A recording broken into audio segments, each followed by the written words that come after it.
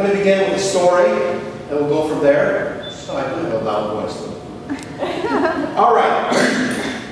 The nurse took the tired, anxious serviceman to the bedside and said, Your son is here. To the old man. She had to repeat the words several times before the patient's eyes opened. Heavily sedated because of the pain of the heart attack, he dimly saw the young, uniformed Marine standing outside the oxygen tent. And he reached out his hand. The Marine wrapped his toughened fingers around the old man's limp one, squeezing a message of love and encouragement. The nurse brought a chair so that the Marine could sit beside the bed. All through the night, the young Marine sat there in the poorly lighted ward, holding this old man's hand and offering him words of love and of strength. Occasionally, the nurse suggested that the Marine move away and rest a while, but he refused. Whenever the nurse came into the ward, the Marine was oblivious of her and of the night noises of the hospital, the clanking of the oxygen tank, the laughter of the night staff members, of exchanging greetings, the cries and moans of other patients. Now and then she heard him say a few gentle words. The dying man said nothing, only held tightly to his son all throughout the night. Along towards dawn, the old man died. The Marine released the now lifeless hand he had been holding and went to tell the nurse. While she did what she had to do, he waited. Finally, she returned. She started to offer words of sympathy. But the Marine interrupted and asked her, Who was that man? The nurse was startled. He was your father, she answered. No, he wasn't, said the Marine. I never saw him in my entire life. Then why didn't you say something when I took you to him? I knew right away there had been a mistake. But I also knew he needed his son. And his son just wasn't there. When I realized that he was too sick to tell whether or not I was his son, knowing how much he needed me, I stayed. I came here tonight to find a Mr. William Gray. His son was killed in Iraq today, and I was sent to inform him. What was this gentleman's name? The nurse, with tears in her eyes, answered, Mr. William Gray. Compassion. We're talking about compassion, but we're also talking about the fuel behind that compassion, that energy, which is empathy. And empathy, sometimes we think of empathy as things that we say, but it's also through action. By reading people and seeing where they're at. And sometimes we don't even have to hear a single word. You could just see how they are. And this is what this man did for this older gentleman. You guys follow this? Mm-hmm. You understand? It's more. It's an action. The one personality trait I wish the world possessed in abundance is empathy. I believe we need to be stirred into feeling for others, compelled through our hearts to want to invest time to, as we heard in the song, walk in somebody else's shoes, with the express purpose of getting into the mind of that individual to see the world through their eyes. I believe that the first cause of genuine feelings of compassion and love precious, rich gifts of need is empathy. I take the every life is precious approach, no matter what the situation. Withholding judgment, always seeking to feel empathy for those who are in pain, who are lonely, who have suffered loss. For these opportunities remind me that I am truly human, human living a human experience, that I'm alive, that I have a heart. It makes the world a better place. Once my heart is touched with my sense of empathy ignited within me, I am then driven to action, to compassion, to help those whose experiences profoundly move me in this way. Now, as many of you guys know, I love ancient Greek. And of course, I couldn't resist because this word, empathy, is a Greek word. and, and so many people misunderstand these words because we don't even know what they mean by definition. So, I'm going to go ahead and tell you. The definition what is empathy? It's a Greek word, uh, comes from empatheia. It directly means physical affection, passion, and partiality. The Greek word empatheia is really a combination with two words. This is important. This is just all Greek to me. I know it is. That's why I'm going to translate it. Okay? The preposition en, which means in or at, and the word pathos, usually translated as passion, suffering, and experience. The full meaning then, excuse me, is that empathy is the action of experiencing the other person's thoughts and feelings with the aim of identifying with them, matching their own feelings with their own, and then hopefully to help uh, or identify with them. You see, using the Greek, you have to enter into their experiences, right? Enter into their experiences in order to be where they are at. So the Greek is important in discerning what this word means. Now, of course, we've heard the word uh, empath before, and that is uh, oftentimes used uh, in a uh, supernatural gift or ability to be able to read a person's thoughts and feelings. Well, let's take that on a human level. That's basically what we're trying to do. We're trying to be intuitive of these actions. Oh, good, this is going to balance just fine there a second.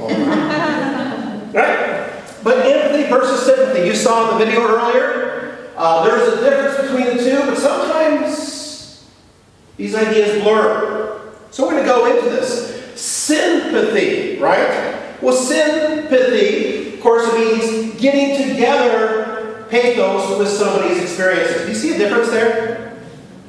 You're getting together with it as opposed to getting into it. You're coinciding yourself with those, those feelings of somebody else, but you're not actually directly putting yourself into it. So the grief, again, is all important. Right? Sympathy, empathy. Uh, when one is sympathetic, one implies pity but maintains distance from another person's feelings. Empathy is more a sense that one can truly understand or imagine the depth of another person's feelings. I like this. It implies feeling with a person rather than feeling sorry for the person.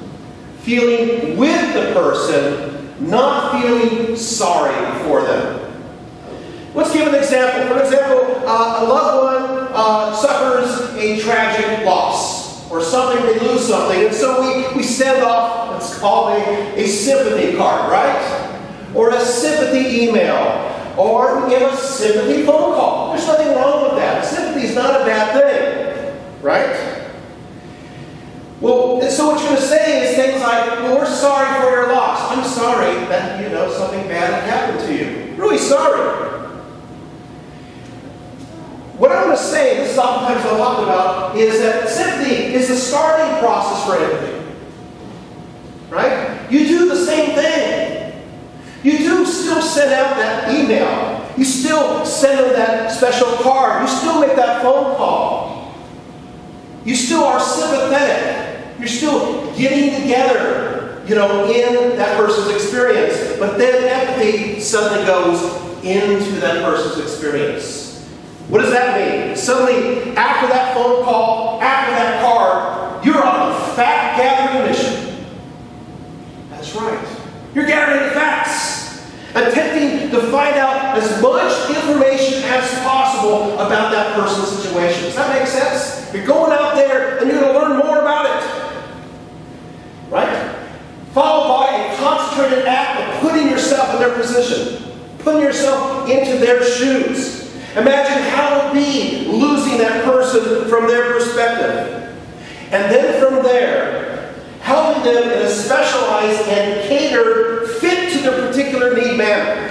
That's right. You're going to find out what they need and you're going to cater your actions based upon their needs. Not based upon a generic perspective or what you should do or what other people do, but especially cater to their particular needs, requirements, and sometimes it may be a little unorthodox.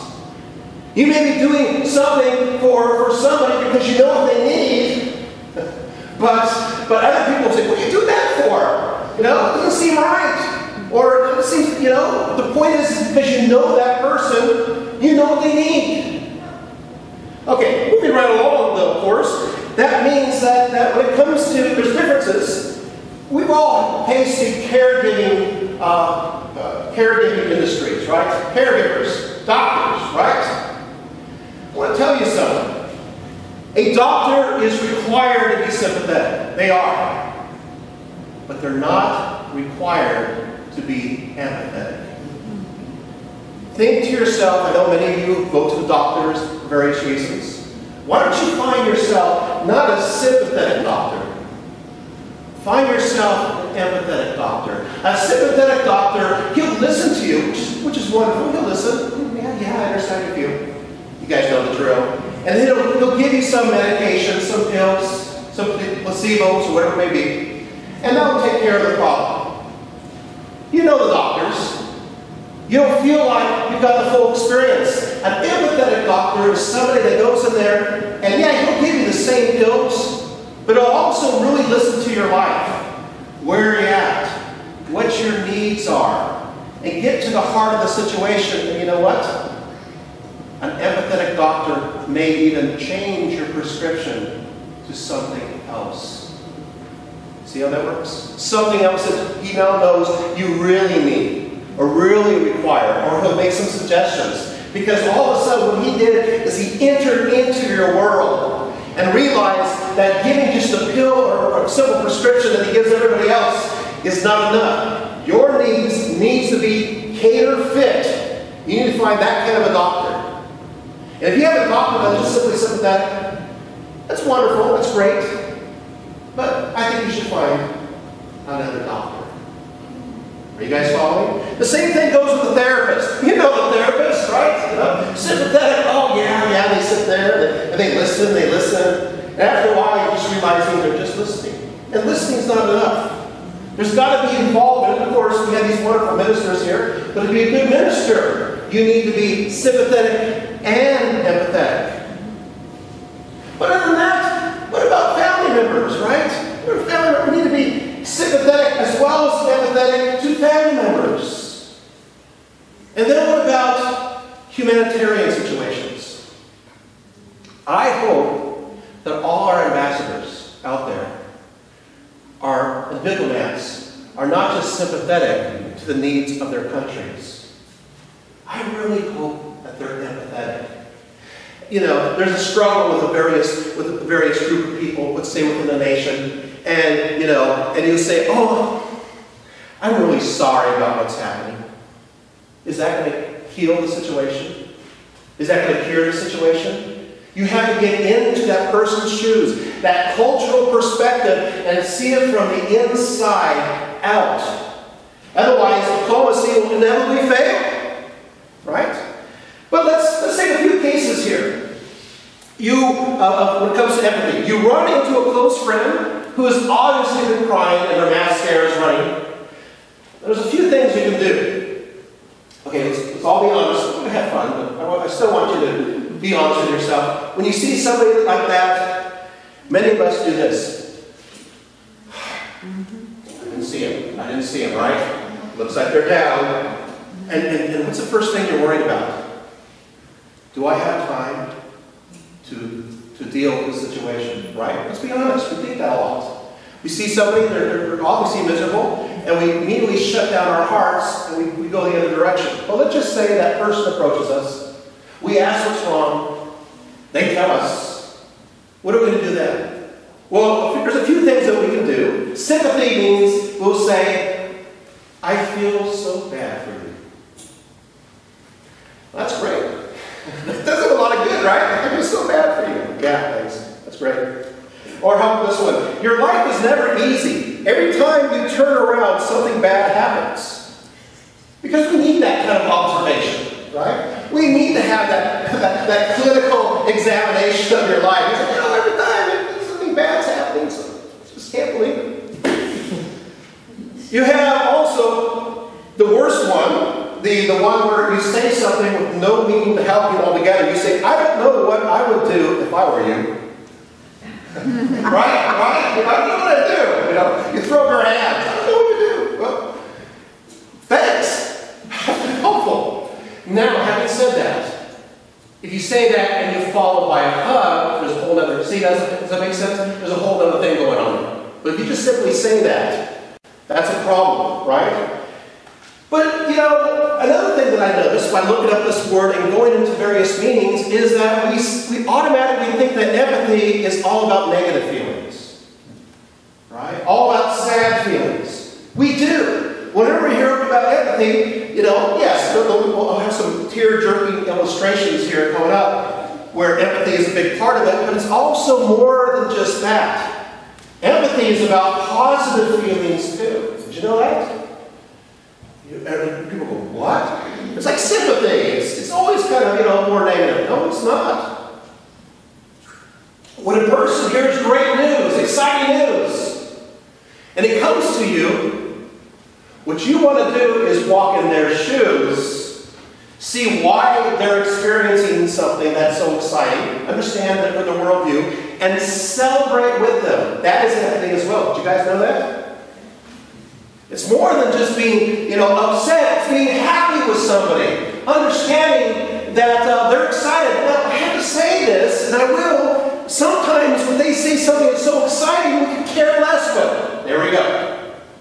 You know, somebody comes back and says, oh, I just got a chance to meet the Kardashians. okay. Take a deep breath. They're happy. All right, it's good. It's okay.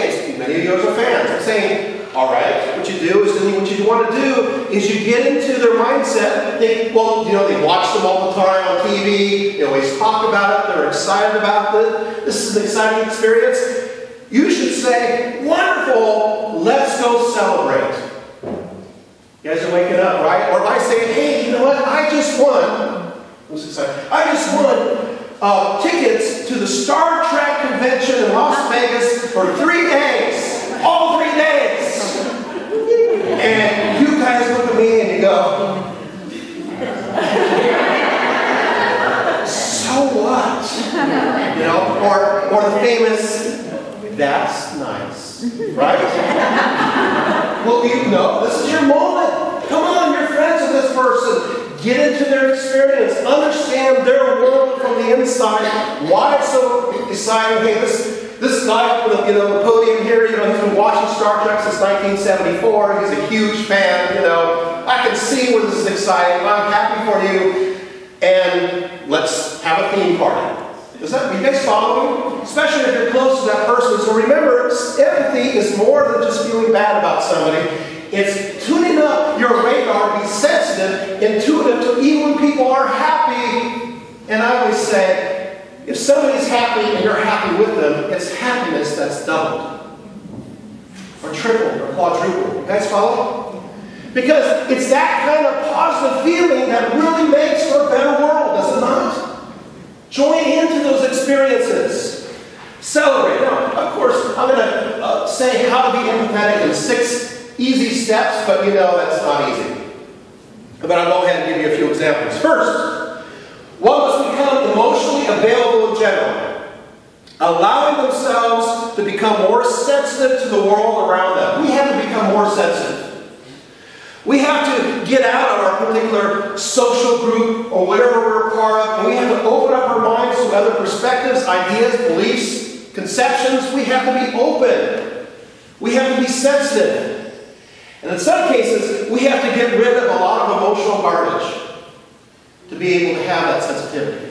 It's important, right? Sensitivity. Okay. Number two, one must be prepared to do some fact gathering, which may involve many questions or simply listening to that person for an extensive period of time.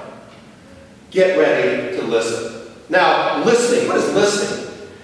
That means you actually look at the person as they talk. But by the way, don't overlook. You know, you know, you know those people, I really care for you, and they're like this close to your face. Tell me what's wrong. And you're like, well, um, I, you know, not doing well. You know, don't do that. Don't be invasive. What you want to do is still look at them. Don't do this. Oh, that's pretty good. Yeah. Oh, yeah. Oh, yeah. yeah. right, don't do that. Don't do the cell phone thing. Don't, don't also, and you know, start making a mental list of uh, things you need for grocery shopping or whatever it may be. You know, be there for them the whole way through. Third, one must realize that the other person's world is not the same as your own. It is very unique. And so you have to prepare yourself to enter that world.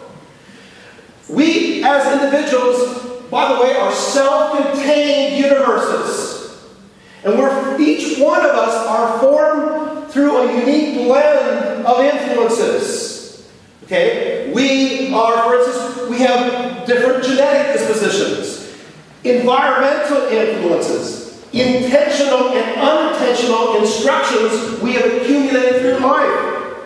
We have random combinations of formative experiences and, according to some, past life experiences. Right? So that means that every one of us, we're all different.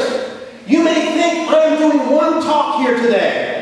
I am not doing one talk here today. I'm doing, uh, how many people are in this room? I'll just say, I'm doing huh? 60. 60 different talks. 60 completely different talks because you're listening to me through your own grid and experiences. And that means that we're all different. So we have to get into each individual person to understand them. Does that make sense? That's why we don't perceive music or, or uh, uh, movies or whatever we like to do in our lifetime the same because we have different things that have formed us, have merged us, have put us together. Fourth, uh, uh, you must now learn to walk in the other person's world, their shoes, to understand them from their own worldview. We have to withdraw, excuse me, uh, judgment. We can't judge a person because that judgment gets in our way of our sensitivity. We have to have a blank slate, tabula rasa. So, for example, and when people say get into somebody's shoes, it's more than just getting into somebody's shoes. Here it is. For example, I'm going to play with this if you don't mind. Getting into somebody's proverbial shoes. We have to know exactly what kind of shoes they're usually wearing. Right? Think about it. Uh, are they moving through life wearing sandals or sneakers? Track shoes or tap shoes? High heels or hiking boots? Dress shoes or deck shoes? Are their shoes new or deeply worn or even falling apart? Are their shoes used often or very little? And where do these shoes go, right? You know, do they go to the mountains? Do they go to the river? Do they go, where do they go? And are they used to walking on hard, hot pavement or grass? We have to, so these shoes are individual. We have to understand them. Fifth, now after walking in their shoes, you can move to actually identifying with that person's feelings in the world, finding points in common with yourself. At that moment, we have moved to our goal from there. At this point, we can move truly from empathy to compassion. Six, after that, actually offer proactive in doing some action with them. Now let's get to some personal experiences. Um, uh, as many of you know, uh, I was very close to a lady by the name of Corrie ten Boom. Uh, ten Boom uh, was involved in saving many Jews in the Netherlands. Uh, she had a special secret hiding place and uh, saved literally thousands of individuals. And then what happened is, is because of a traitor, she was arrested and she was put into a concentration camp. And because of a clerical error, she was released. And she decided that she's going to forgive the Germans for what they did to her. I was raised by that individual. In 1974, uh, she came to me, and she at this time she's busy with movies and books and everything else, but she saw the suffering of, uh, of this, uh, this eight-year-old kid and put it all aside and decided to become my grandma. And I saw her all the time. Now, the point is, I want to say this is that she had to replace my grandparents. And there's a reason why I'm talking about this. Okay, the reason is, and I'll go to this, and this will be my bit here. What happens is this, is that my, uh, my, on my mom's side, my grandparents, they were raised in the background where, you know, kids are, are, are to be seen and not heard. You've heard that before. So they, they didn't relate with us. On my father's side, my grandma decided that she played favorites. I was a lesser kid. My older brother was the best kid in the entire world, and she was not very friendly about it. In I was always kind of treated in a terrible way. One time she threw out all my homemade books, for example. You know, she was not very nice and very protective of my brother. Loved my brother, but I was always resentful of that. And that, that resentment continued into uh, going into my adult years. And then in April of 1998, we all went to visit her, and she's dying. She's on her deathbed. And, you know, I to tell you, she was all eyes. Uh, you know, she was just, just toothpicks for arms and legs, and she was sitting there. The life was moving out of her. And I was so upset at that time, and I looked at her, and there she was. And I also realized something else. Everybody in the room, they weren't talking to her. In some cases, there are 22 people in the same room. They're all talking amongst themselves. And there she sat. And then I thought, oh, and I started judging them. I thought to myself, no, no, no, I shouldn't judge them. Because they don't know how to deal with death. They're scared of death. And sometimes when we're scared of death, we remove ourselves from them. Does that make sense? So there's a reason I had to be empathetic and understand there's a reason why they are doing what they're doing. They're not trying to be cruel. But at the same time, there she sat. And I thought to myself, I'm going to relieve that past. And so I go up and I sit next to her and I hold her hand. And I talk. Because I remember that, that, that she loved to be the center of attention. She loved to be busy. And the, the last thing that she'd ever want to be doing is sitting in the hospital bed being ignored. And that's exactly what was happening. It was her nightmare. And so I talked with her. I brought my daughter, almost, almost two at the time, and we both held her hand. And we talked with her. You know what happened? The light suddenly returned to her eyes. To the point where she's in hospice care. The nurse says, you can take her out on a wheelchair to see things. Revitalize. Isn't amazing what happens? And then, of course, the last day we're all supposed to leave came, which is Pella, Iowa. And my, my parents are about to leave. I said, well, are we gonna are we gonna pray for her? Not that I wanted to pray for her. It's it's do. She loved tradition. This was important to her. And my parents were just about to take off. I said, we need to pray. My dad said, you're going to pray. So I had to pray as I held her, her hand. And, and I had to pray for God to show her love. And I felt something change inside of me. And I realized she's a person just as important as me with wants, needs, desires need to be met. And I look at my eyes, there's tears going down her face. All her life, She said, my John, that's my brother's name. My John, my John. And the last, first and last time in her life, she looked up and said, my Jim. It wasn't about me. It's not about my story. I wasn't looking to have that achievement or that accomplishment. That wasn't the point.